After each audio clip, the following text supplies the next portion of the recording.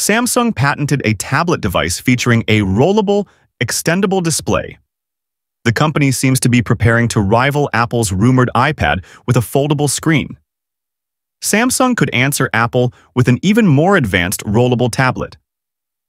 Hi guys, myself, Vishnu, let's get started. A new patent, via 91 Mobiles, sheds light on Samsung's plan to innovate further in the foldable device market. The patent document showcases a thick tablet device with a large rectangular display and rollable, extendable screen. The additional screen comes out from both the left and right sides. With extended screens, the tablet aims to offer an even larger viewing area. In case of no need for an extended display, the panel will roll back itself to become smaller. Notably, the tablet uses a motor under the screen, which will help the panel to roll out and roll back.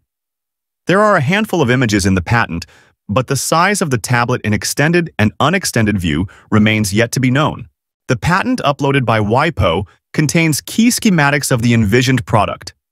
The images give us an early idea of the tablet from various angles, the display being extended from right and left. The patented tablet features a USB Type-C port for charging. Samsung has filed thousands of patents to secure its innovations. There are several examples where a patented tech never becomes a reality. Hence, it depends only on Samsung whether it commercializes the rollable tablet.